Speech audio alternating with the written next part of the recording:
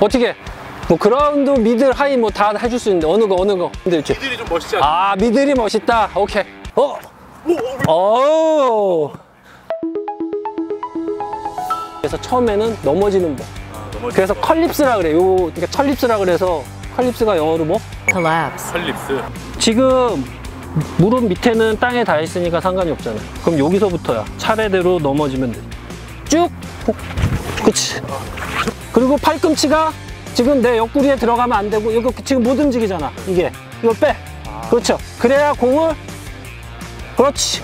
공이 그렇게 되는 거야. 그러면 내 공을 완전히 내가 이렇게 할 수 있는데 어, 되게 다소곳한데요? 아 일단 이렇게. 어, 어 좋아 좋아 좋아 좋아 다소곳하게 자 공을 잡고 당기면서 그렇지 자 아까에 비해서는 충격이 어떻다? 어, 그래요. 확실히 덜해요.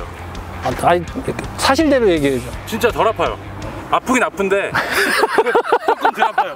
다른 거는 다 좋은데 여기에서 이렇게 오케이 한 다음에 한 발 찍고 그렇지 이제 그라운드로 가야지 이제 집으로 가야 될 것 같은데요. 그라운드 가지고. 아 그라운드 볼이 볼이 낮으면 무릎하고 내 어깨하고 낮아지면 돼 근데 이게 낮아서 가는 게 아니라 가면서 낮아지는 거야 아니라 아 아파 아파 마이크 마이크 내가 서 있다가 자연스럽게 약간 대각선 느낌으로. 그렇지 그게 이제 밑으로 이렇게 자연스럽게 그렇지 그런 식으로 또 자연스럽게 그렇지 오케이 이게 GK의 세이빙이 첫 번째 컬립스라 그래서 제일 기본적인 넘어지는 연습 컬립스. 네. 네. 알았죠? 네.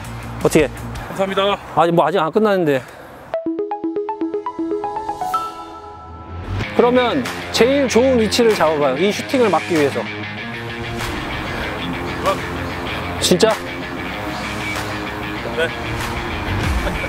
진짜죠? 분명히 네? 아, 왜, 왜 고개를 숙이고 좌절을 하고 그래? 막을 수 있는 거리는 분명히 존재한다는 거죠.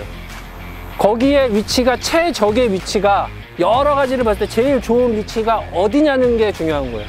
대부분 골키퍼는 항상 뭘 하라 그러면 항상 여기야. 여기가 어때?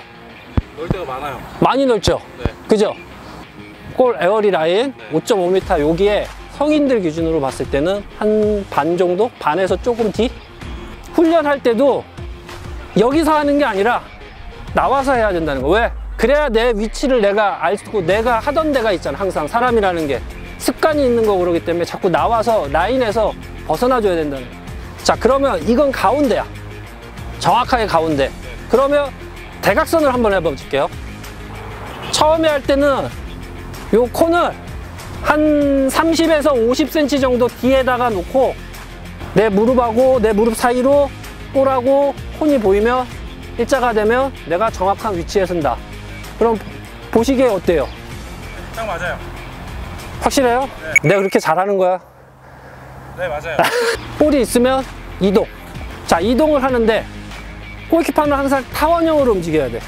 그래서 골대 쪽으로 가는데 여기에서 골대 쪽으로 가지만 골대로 가는 게 아니라 골대를 약간 벗어나. 기준이. 자, 위치 선정. 볼이 이동을 하면 내가 이동을 해야 되니까 위치 선정을 해서 슈팅을 때리려고 할 때 뭘 해? 자세. 자세를 잡은 다음에 슈팅이 날라온 걸 뭘 해? 또는 클립스. 끝! 아, 오케이, 오케이. 네. 그리 골키퍼가 이 골대 안에서 골을 막기 위한 제일 기본적인 걸 오늘 다 한 거예요.